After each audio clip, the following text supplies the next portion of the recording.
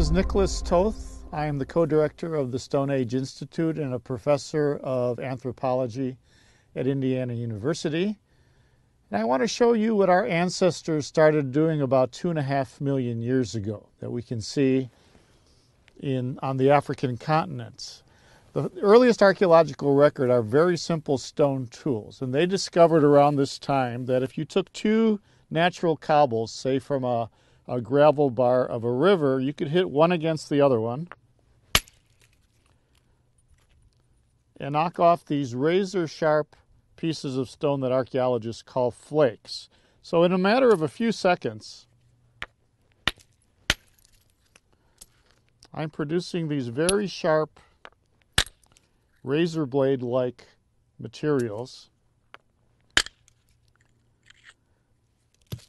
that can be used for, say, cutting up the carcass of an animal that you might kill, or maybe uh, you find that's been left by carnivores and a little bit of meat left on the bones that you can cut off. So these are literally razor sharp. If I were to drag this across my finger, I would cut myself quite badly.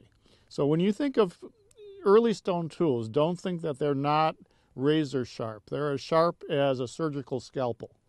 And we can use these for a range of activities, as our ancestors did in the early Stone Age butchering animals, uh, working wood. Say you want to make a spear for hunting or a digging stick for, for digging up roots and tubers from the branch of a tree. These are great tools for the shaping that you would do for that.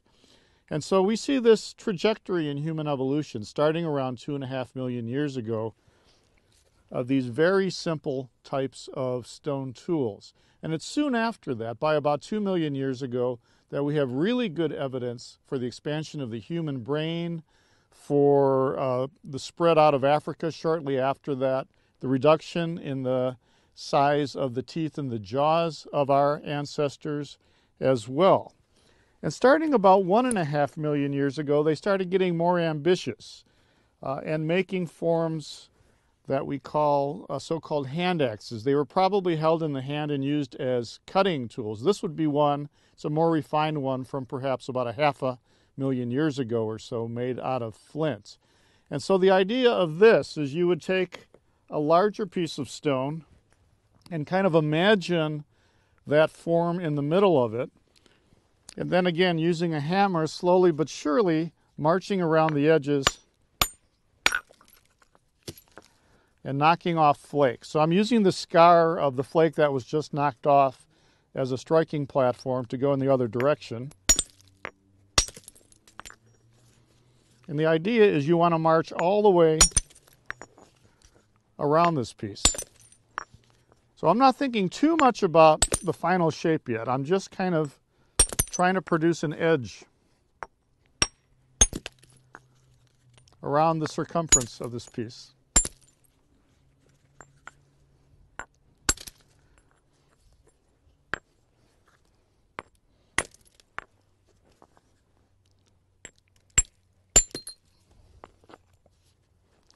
Okay, and so it would take me about another five minutes to go all the way around this.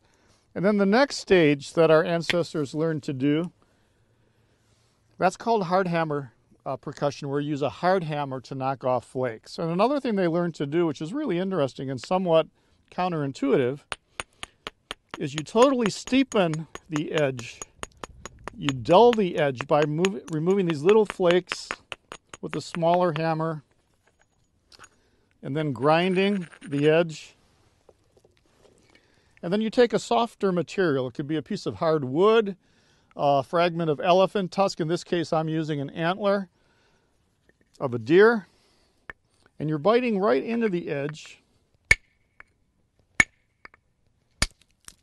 And you're able to remove much longer, thinner flakes when you do that. And this is a way of controlling flaking do it one more time. And you get a much thinner product at the end of it. And this is called soft hammer technique. So I'm going to try to drive a flake off of this side by striking on this side.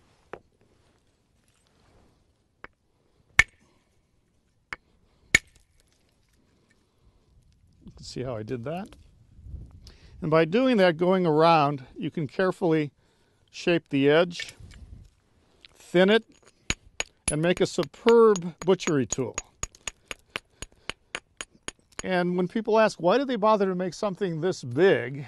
They were butchering large animals, sizes of zebra and buffalo on occasion. These are big mammals that weigh hundreds and hundreds of pounds.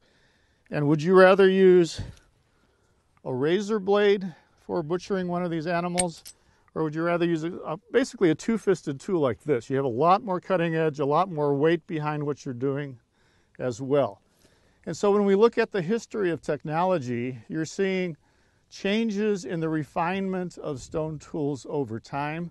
By the time you get to Neanderthals and early modern humans, they're probably starting to haft tools onto handles, either using some kind of adhesive material like pitch from a pine tree, or by using sinew or other material to lash tools together as well. And so we see this progression and refinement of technology through time, especially with stone. But starting around 80,000 years ago, we're also seeing refinement in bone working, that they're starting to make bone tools for the first time as well.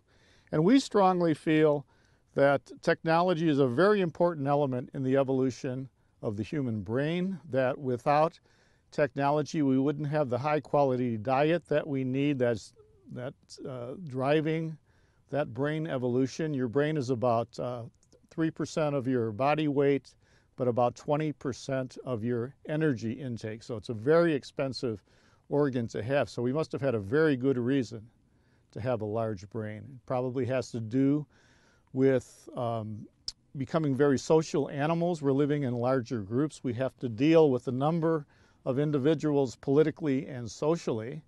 And so more intelligent animals are able to interact socially in a better way. And so, probably another payoff of these larger brains over time is that we become more inventive and experimental and try new techniques of making and using tools as well. And we become the consummate, the most important dedicated toolmaker in the history of the earth as we are today.